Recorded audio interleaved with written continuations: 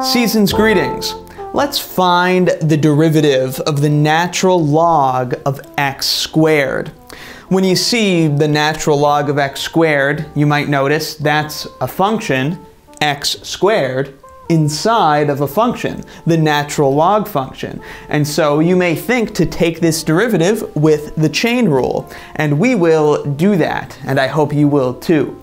But we'll also do it without the chain rule. Two ways we can do this fun little derivative, so let's get into it, and I encourage you to give the chain rule solution a try yourself. You've got to take the derivative of the outside function, and then multiply by the derivative of the inside function. Give it a try yourself. Now let's get to the solution. All right, what's the derivative of the natural log of x squared with respect to x?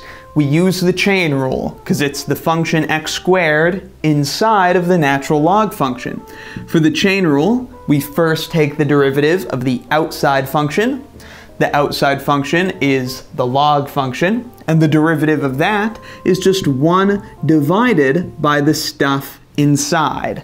Remember, the derivative of natural log isn't just 1 over x, it's 1 over the stuff inside. The stuff inside is x squared, so that derivative is 1 over x squared. Then we just have to multiply by the derivative of the stuff that's inside. The inside function is x squared, so the derivative of that power rule, it's just 2x. So we have 1 over x squared times 2x. We're basically done. Just might want to do a little bit of simplification. We've got 2x divided by x squared, so a factor of x can be canceled out from the numerator and denominator, and our answer is 2 over x. Not too bad. So chain rule works just fine, but if you remember your log rules, then you could do this without the chain rule.